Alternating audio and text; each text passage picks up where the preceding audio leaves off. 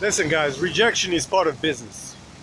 If you don't want to uh, get rejected, if you don't want to get no's, you know, don't get into entrepreneurship. You'll get more no's than yes. That's just the name of the game. You know, and and what a good thing about rejection is it builds a tough skin.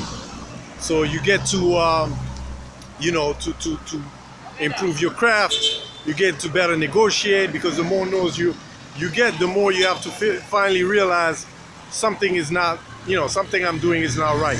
I need to change my strategy. But when you get all this rejection, remember one thing: all you need is one yes, you know, and then two yes, and then three yes. The goal is not uh, for everybody, all the customer, to adopt your your product. The goal is to find one or two customer base to adopt what you've done and build on that. That's the key of business. So don't focus on rejection. Focus on the yes you're getting.